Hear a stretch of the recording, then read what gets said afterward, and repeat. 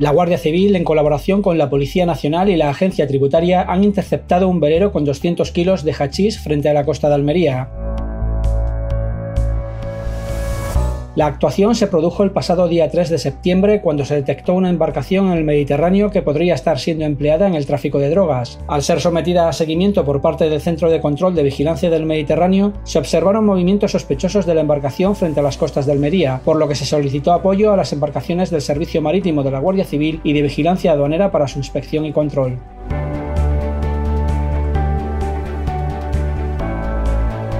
Una vez trasladada al puerto de Almería, la embarcación portaba ocultos en el interior de un habitáculo fabricado al efecto 200 kilos de hachís. Los miembros de este operativo han podido detener a dos personas de nacionalidad española y proceder a la intervención de un velero de 12 metros de eslora.